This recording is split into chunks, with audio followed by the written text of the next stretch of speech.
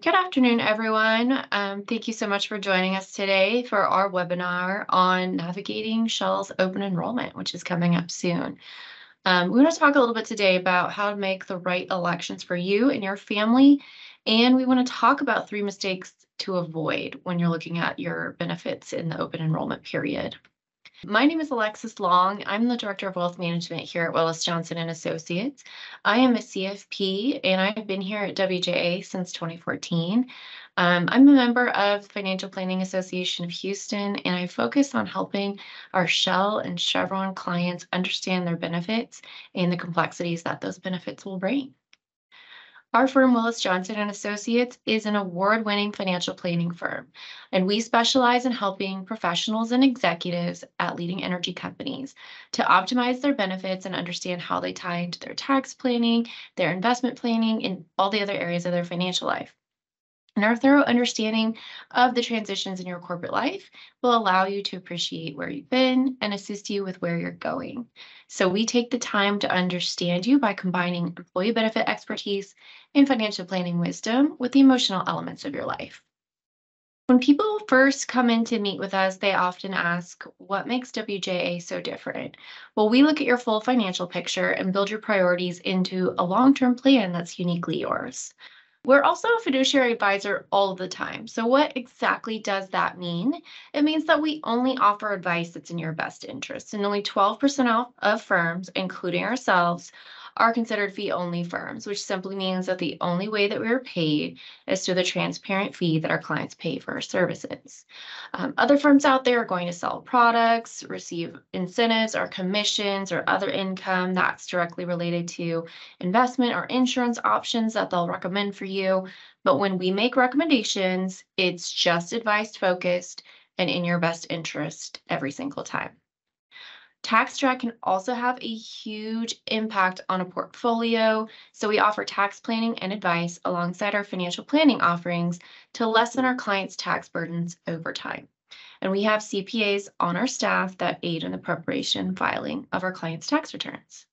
And finally, we have that company benefit expertise. So many firms will understand ins and outs of a 401k plan, and we've taken it one step further. We've actually read your benefit books and understand your benefit plans so that we can help our clients make sure that they're getting the most from what those plans have to offer. So for today's webinar, um, we are going to have a conversation about open enrollment if you have questions on anything that we cover today or anything that I cover today, please include it in the pop-up survey that will follow the webinar and we will happily follow up with you. So what's on the agenda for the day? This is the agenda. Um, when is Shell's open enrollment? When we're going to talk about which medical plans you should be considering for your family. We want to cover HSAs versus FSAs. Then we're going to talk a little bit about long then we're going to talk a little bit about short and long-term disability options, then life insurance to talk about how much you may need, followed by next steps. So when is open enrollment? Shell's annual open enrollment period starts October 25th through November 8th, 2023. So during this period of time, you can make elections for your medical plans, your life insurance, and your disability insurance coverage through the Shell Employee Portal. So mark it on your calendar. So first thing we'll cover is which medical plan you should choose. So you have three options through the Shell plan. You have a United Healthcare PPO plan, you have a Kelsey-Seybold um, PPO plan, and a United Healthcare high deductible plan. So when we're considering these three options, for most of our clients, we will recommend one of the two United Healthcare plans. The reason being, it has a much broader reach. It is a national organization. Um, and so, regardless of where you go in the country, um, across the world, you will likely have United Healthcare coverage. Kelsey-Seybold is really local to the Houston area and the Gulf Coast area.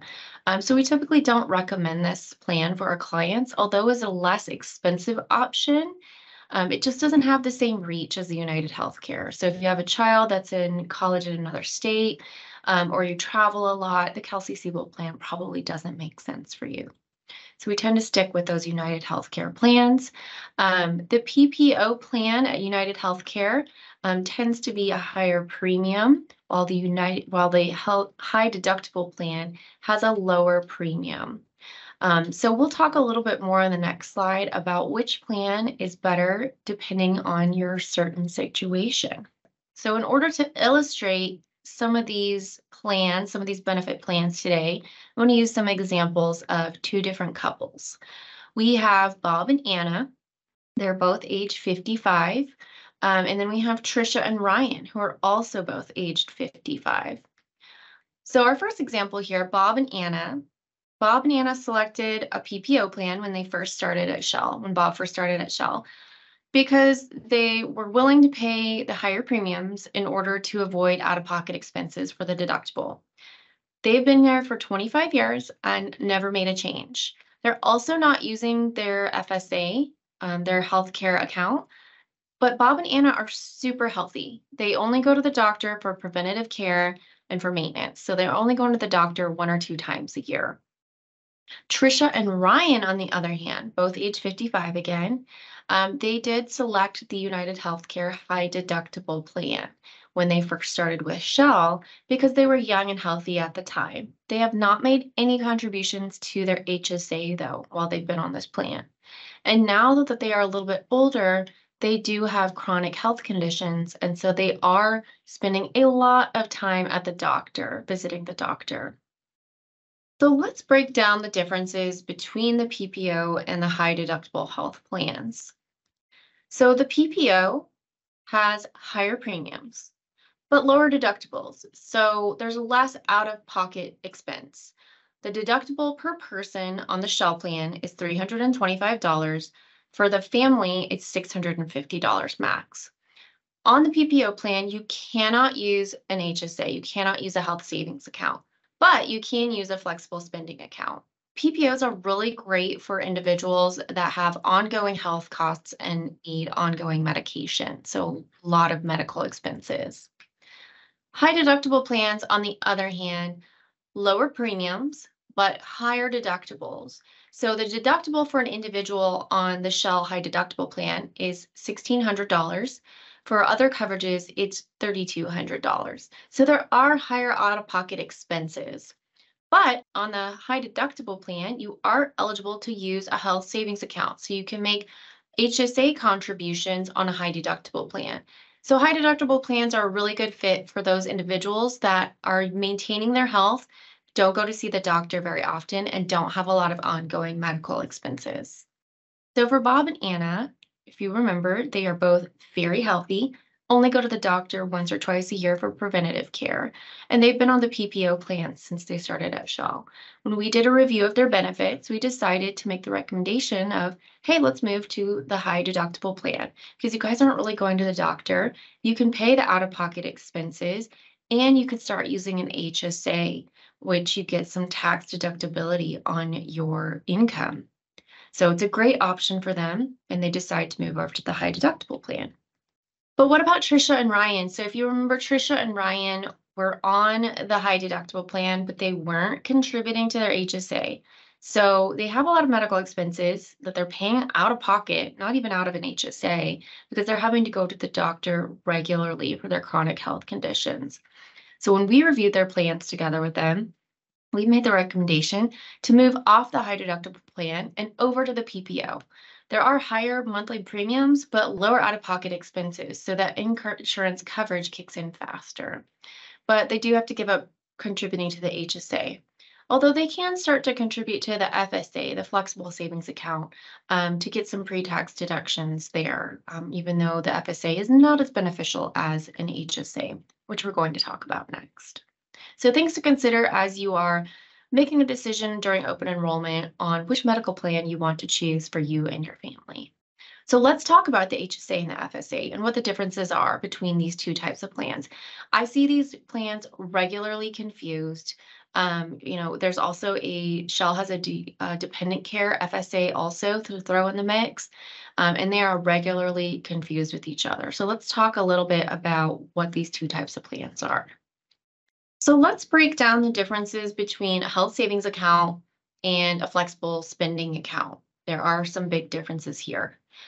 HSAs or health savings accounts are ideal for people that have very low medical expenses and are on a high deductible health plan. Contributions to an HSA are tax deductible. They go in pre-tax before federal income taxes.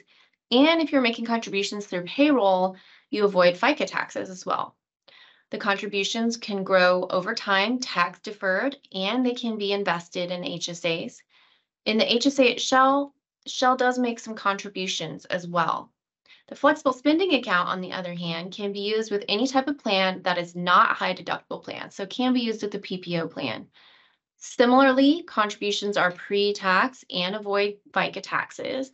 But one of the biggest differences here is that contributions reset annually. So if you do not use the money in your FSA by the end of the year, you lose it. So use it or lose it.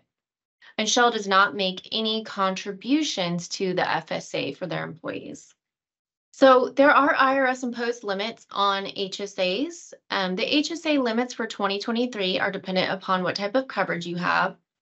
But if you have self-only coverage, you can contribute up to $3,850. If you have family coverage, you can contribute up to $7,750. If you're the over the age 50, you can do an additional catch-up contribution of $1,000 to the HSA.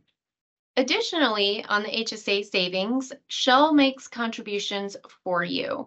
So they will put in $500 if you're an individual and $1,000 for all other coverages. So to go back to my last slide, if you are self-only coverage, Shell will put in $500 for you, and that means that you can put an additional $3,350 of contributions as the employee to reach the IRS maximum for the 2023 calendar year. Benefits of HSA. I kind of already talked about this, but the contributions are tax deductible, just like your 401k contributions. They grow tax deferred in the HSA, and when withdrawn for qualified medical expenses, those withdrawals are tax free. And then as the money stays in there, it's tax deferred until you withdraw it.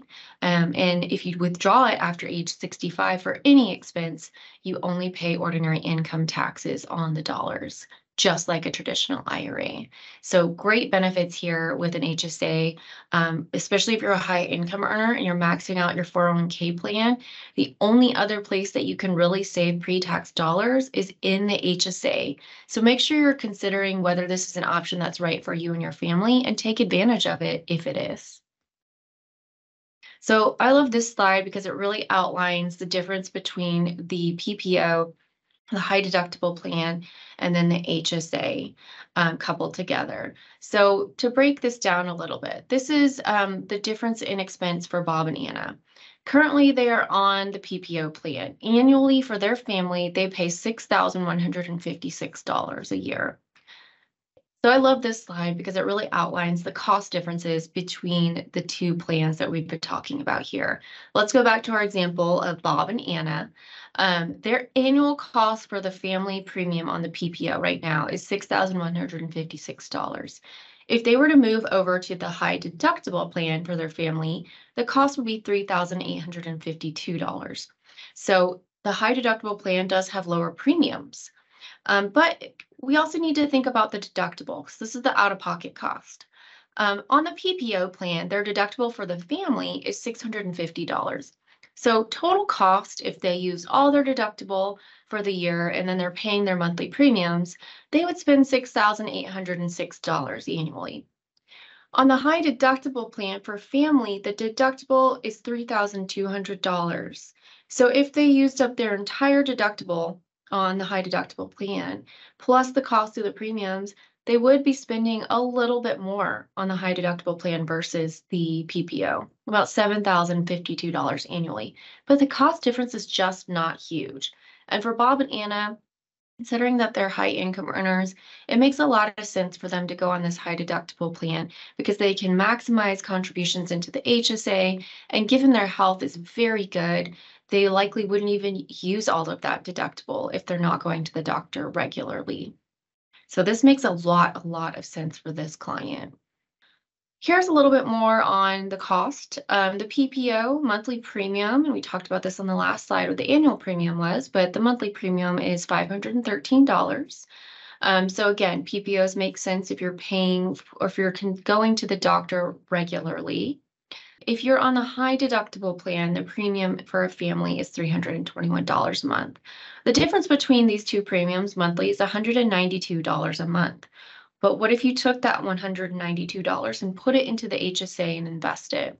So you move over to the high deductible plan, you take the additional savings, contribute to the HSA, invest it over time. Annually, that $192 a month becomes $2,304 um, in a year. If we take that um, and multiply that times 40 years, um, we would have contributions to HSA of $96,000. So if you started working at Shell when you were 22, right out of college, um, use that $2,400 a year and put it into the HSA up until you retire, you'd make total contributions of $96,000. Um, if you invested those funds in the HSA without any tax drag, because remember, those HSA contributions are pre-tax. You never take any withdrawals out. You pay out of pocket for any medical expenses and just let the HSA grow. The HSA could be valued at approximately $622,000 at the end of that 40 year period.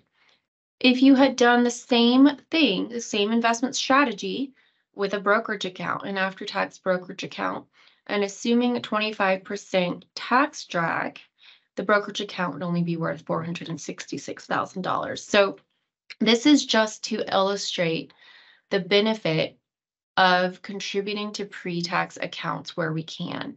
In this example, you've lost over 25% of the value of your account just due to tax drag. So wanting to illustrate, truly to illustrate the benefit of using an HSA versus an after-tax brokerage account. So there are some strategies that we talk to clients about with the HSA. Um, you can take the money out as needed to pay for medical expenses. Qualified medical expenses are very broad. There are a lot of them and a lot of different types of qualified medical expenses. So some people just use their HSA as it was intended to be used. You could also, in the HSA, hold the annual deductible amount, the $3,200, for example, if you're a family, in cash and then invest the remainder. So you always have that 3200 available. You can cover with cash and invest the rest. Or you can also pay out of pocket for medical expenses. Just pay out of your bank account, put on your credit card, and then fully invest your HSA and claim reimbursement down the road. You can reimburse yourself from an HSA many years down the road as long as you've held on to the receipts for the medical expense. So let's move on to the Trisha and Ryan example that we were talking about earlier. So Trisha and Ryan um, go on to the PPO plan, but decide they still really like the idea of using the FSA, the flexible savings account. Um, at Shell, they call it the healthcare account. At Shell, the contribution limit for the FSA is $2,850 this year. Um, there's also an option to use an FSA for dependent care. This would be care for your children under the age of 13 um, or any other type of family member that um, needs care. You can contribute up to $5,000 tax deductible into this account and use it for childcare, daycare, nanny, etc. Um, so those are the two different types of flexible savings accounts available through the Shell plan. With the FSA, you have the option to use it for medical expenses as well. And there are options out there. They're actually like stores specifically focused on showing you what you can use your FSA for. So if you get to the end of the year, you have $500 left in the uh, plan, you're worried about it because you're going to lose it. You can go to Amazon. There's a FSA store on Amazon. There's also an FSA store on the internet where you can find, um, you know, Tums, Band-Aids, um, ointments, all types of things that you can use your FSA or even your HSA for. Um, but especially if you're using an FSA and you're worried about losing those dollars at the end of the year, go out there and look for what you could spend those dollars on, on things that you might need going into the next year. Now I'm going to move on and talk about short and long-term disability options. We're going to keep using our examples of Bob and Anna and Trisha and Ryan. So remember, we've got Bob and Anna, 55 years old, Trisha and Ryan, 55 years old. Bob has worked at Shell for 25 years. His annual salary is $250,000. Um, he is only covered by the Shell short-term coverage, and he and Anna are not quite yet financially independent. On the other hand, we have Trisha and Ryan. Also, Trisha has been at Shell for 25 years. Her annual salary is $250,000. Um, she is enrolled in the Shell provided short-term disability coverage, and she has opted to um, enroll in supplemental short-term coverage and the supplemental long-term coverage that's offered through Shell. Trisha and Ryan are also financially independent. So what is short-term disability? Short-term disability covers you for income if you have a disabling event for up to 52 weeks. The amount that you receive is either 100 or 50% of base pay, and that's dependent upon years of service. You do have short-term coverage through Shell that Shell pays for, but you can, as an employee, buy supplemental short-term coverage. And this coverage will start on the first day of your absence due to a disabling event.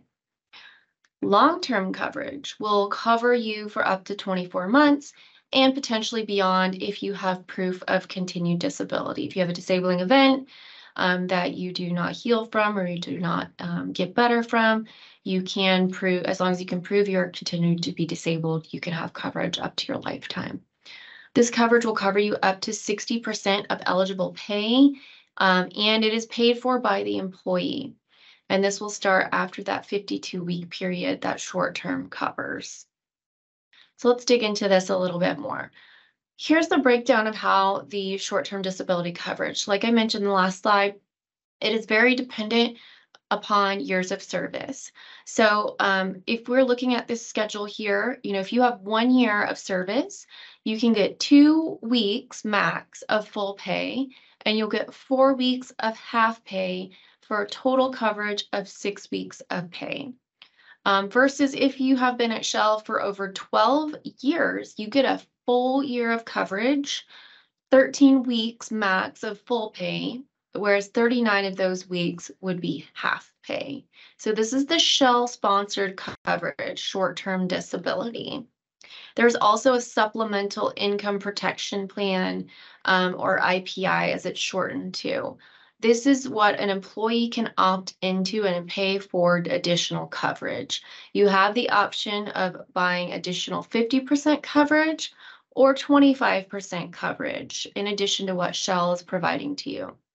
And it's kind of dependent here. Um, you can see the payouts dependent upon what your annual base pay is. These supplemental plans, actually these short-term plans, do not cover bonuses or stock compensation. It's just based on annual base pay. So keep that in mind when you're looking at these plans. Um, but if you have a salary of over six two hundred and sixty thousand dollars, um, you could be receiving $2,500 a week or 1,250 a week, just depending on what option you elect. So let's talk about that in an example. So we have Bob and Anna again. Um, Bob gets hurt and he goes on short-term disability for 52 weeks. Remember, he's been at Shell for 25 years, so he is going to receive 52 weeks of pay 13 weeks of those are going to be full pay, 39 will be half pay. So if we break that down into dollars, if he did not have supplemental short-term coverage, he would be receiving $156,208 annually if he, if he was disabled over the full 52 weeks on his base pay versus $250,000 of what his actual base pay is that is a pretty significant difference in income. And remember, this doesn't include bonuses or stock compensation, performance shares, or the like that he's been receiving over the last 25 years. So this is a big decrease in income. In this case of for Bob, he really should have some income protection insurance be on enrolled in that plan to provide that extra coverage through week 52. So if we kind of look at what that would look like if he had additional coverage through the short-term IPI plan, you know, he has that $250,000 base salary. Through what Shell covers, he would be receiving $156,208 over the entire 52 weeks from just the Shell coverage. If he purchased IPI or enrolled in the IPI plan, which is what we would recommend that he do, he would be able to supplement almost all of his base pay. With the IPI plus the shell coverage, he's almost at back at two hundred and fifty thousand dollars, um, very similar to what his base pay is. The shell coverage will be taxable to him, but the coverage, the IPI coverage that he is paying premiums for will be non-taxable because it is after-tax dollars that he contributed to that IPI plan. So that's also something important to keep in mind. Let's move on to the second example here. Um, our second couple, Trisha and Ryan. Um, let's say that, you know, Trisha gets hurt and doesn't recover within the 52 weeks that short-term covers. So she does have to end up going on to long-term disability. So she also has IPI. And her base salary is also $250,000. With her 50% IPI coverage, in addition to what Shell's paying for, she is almost back to $250,000 of coverage on short term. But what happens after those 52 weeks? So 52 weeks later, if she is not better, she's not able to return to work after her disabling event, she would go on to long-term disability coverage. This is paid for by the employee, and the amount that would be paid is up to 60% of your eligible pay, up to $10,250. So that is the max benefit that will be paid out to anybody that works at Shell. So in this case for Trisha, she had a $250,000 salary with her maximum amount that she would be receiving through long-term coverage, long-term disability coverage, she's receiving $123,000 in a calendar year. So pretty significant difference here with long-term. But again, like I mentioned in the last couple of slides, this is employee paid long-term disability coverage. That means she paid premiums with after-tax dollars the income to her, that $123,000 is tax-free income. So that does help cushion um, the decrease in income a little bit, and given that there are no taxes due. Um, but this is where you really have to to develop a really strong plan to know that if you had a disabling event, um, you could have some disability coverage, but you would also likely need some additional supplemental um, resources to pull from to cover living expenses, given the difference between the long-term disability benefit and what your base pay is. So moving on to life insurance. This is a big question that we get a lot. Um, do I need life insurance and how much do I need? And it's all dependent upon your personal circumstances. Um, at Shell, employee only coverage, um, you can get one times to seven times annual base pay of life insurance coverage. The maximum amount that you can receive is $4 million. Employees, um, spouses, or domestic partners can receive coverage up to $500,000, um, or you can purchase life insurance coverage for your children, um, $5,000 or $10,000 per child. So again, let's use our examples, Bob and Anna, Trisha and Ryan. Bob and Anna have saved a million dollars in investable assets. Bob's annual salary again is $250,000. Their annual expenses are $150,000 um, coverage that he has through Shell, he is only enrolled in two times the salary coverage, which is the Shell paid for coverage. So his coverage is half a million dollars in life insurance. Um, one thing I haven't mentioned yet in any of our examples, Bob and Anna have two kids who are not financially independent yet, and Bob and Anna are not quite financially independent yet. So if Bob passed away tomorrow, Shell will pay Anna the half a million dollars from the basic insurance coverage. How long would that last if we had half a million dollars plus the million of savings that they have and they're spending $150,000 a year? They're probably only going to be able to cover between 10 to 15 years of living expenses. So that means that Anna would have to either drastically reduce her expenses and change her standard of living, or she would have to go back to work. And since she's sole caregiver of her two children, this would put her in a very difficult place. So we would recommend that Bob looks into purchasing or enrolling in additional coverage through group life with Shell. Okay, the second example here, um, let's take a look at Trisha and Ryan. Trisha and Ryan do have children, but they are grown, self-sufficient, and independent. They've saved $4 million in investable assets. Trisha's income is $250,000, but she's thinking about retiring next year. Their annual expenses are $150,000. In addition to the basic shell coverage, she's elected to pay for five times salary coverage in life insurance. So she has 1.25 million in coverage. So what we want to focus on here are, are two words, um, financial independence. Do Trisha and Ryan really need life insurance coverage if they are close enough to retirement? We typically think about life insurance in terms of human capital replacement. So if Trisha plans to retire soon and her income is going to be gone, they likely do not need life insurance. And since they have grown self sufficient, independent children, and their annual spending is a low percentage of what they've saved, um, we really don't need life insurance in this situation. The only reason to potentially consider it would be if they want to leave additional funds behind for their surviving spouse or for their children to inherit additional assets over and above what they currently have. So we would recommend Trisha decreases her life insurance coverage, which would decrease the premiums she's paying on a monthly basis. She can use that offset in cost to put more into her 401k or into other savings plans. This is a breakdown on the premiums for different types of coverage. It's dependent upon your or your spouse's age. Um, the cost, of course, goes up as you do age for coverage. What about if you decide to leave Shell? Well, if you decide to leave Shell or, or potentially retire, um, your life insurance coverage is portable. So that means you can continue the coverage when you leave Shell. After you leave, MetLife, who underwrites insurance at Shell, will send you a packet that details what you need to do to maintain your coverage. Um, so the minimum portable amount for employees $20,000. Um, you can continue this coverage up until you reach age 80. Um, or for a partner, domestic partner or spouse, the minimal portable coverage is 10,000 and can be extended until they reach age 70. These can also be converted to um, individual life insurance policies. Minimum amount portable for children is 1,000 and can be covered until they reach age 23. So when you're looking at either increasing your life insurance coverage or decreasing your life insurance coverage.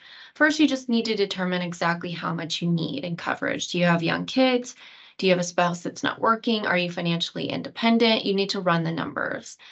Then you should do your research on premium costs through Shell, what coverage you can get through Shell, or what coverage and premiums are outside of Shell through other providers. Um, maybe it's looking for a term policy with another insurance provider then you want to get a plan in place and look at it regularly. So like every other plan we've we've talked about with our clients, we want our plans to be dynamic and reevaluate regularly because life changes very quickly. And so you may need more life insurance today than you will five years down the road. So you want to regularly reevaluate your plan and you want to ask your advisor to walk you through the options educate you on the coverage options that you have available through Shell or what you can obtain outside of Shell. And on that note, um, WJA does not sell insurance. We look at options and provide you with recommendations on best path forward. And I mentioned this earlier, but one of the key things to keep in mind um, is that when you're working with an advisor, whether or not they're fiduciary. Only 12% of firms out there are RIA only firms like ours, which act as a fiduciary all the time. So that means when we're giving recommendations on topics like insurance, our recommendations are in your best interest. We're not getting kickbacks or commissions from selling you insurance products. There's no revenue sharing. We're just providing you with great advice with your best interest in mind. The other 88 percent of firms out there are salesmen. They're pitching products, selling insurance, or putting mutual funds in your portfolio that offer revenue sharing or other kickbacks. After we've talked about all of these topics, I'm sure you're thinking, what does this mean for you? So as you can see from today's topics, we have an in-depth understanding of Shell's benefit plans, and we help our clients make the right decisions for them and their family when it comes to open enrollment. And we're always working in your best interest. We are a fiduciary firm. Um, and one of the other big uniques about our firm is that we do help our clients with ongoing tax planning as well as tax preparation and filing. So if you do have questions, please do not forget there's going to be a survey that will pop up following this webinar. Please place your questions in there. A member of our team will follow up with you with a detailed answer. Um, you can also follow Willis Johnson and Associates on LinkedIn, Facebook, or you can scan the QR code here on the slide to follow me on LinkedIn as well for additional informational content. If you are more interested in coming to meet with us and learning more about how we can help you and build you a comprehensive financial plan, we do offer a complimentary first meeting where we'll look at your Shell benefit plans, what your compensation is at Shell, tax planning and op optimization strategies. We'll look at your current investment portfolio, do a review, and provide recommendations as well. So thank you very much for your time today. I hope you have a wonderful day.